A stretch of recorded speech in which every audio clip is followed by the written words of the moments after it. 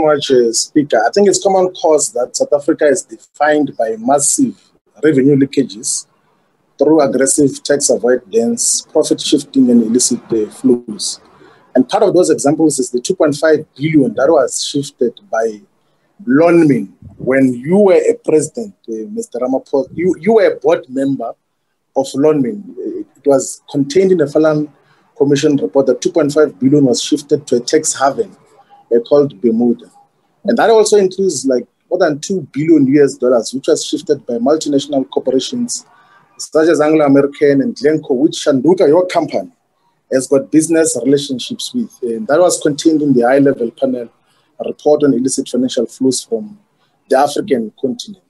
Uh, and this also, of course, includes like the bringing in of millions of currency and trading with currency domestically, despite the fact that you are not allowed to trade in foreign currency in the country without certain regulations that have to be complied with. So, outside of the multilateral and bilateral treaties, uh, this needs a solid and sound domestic legislation to deal with aggressive, particularly aggressive t- uh, tax avoidance and profit uh, uh, shifting, which are the primary instruments of revenue-based regime.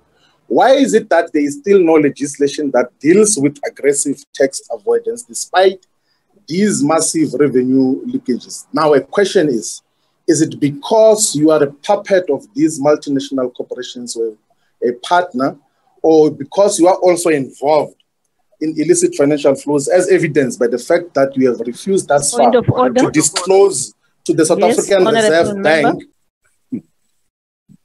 Okay, thank you, Honorable Speaker. I did, however, want to say the last time I checked myself I am not a lap dog. I don't go about licking other dogs. And I'm not a puppet. So I'm least concerned about that reference. Because you can only be concerned if you are a puppet or if you are a lap dog. But I'm not. So what he has said passes on my back like water on a duck, so I'm least concerned. So,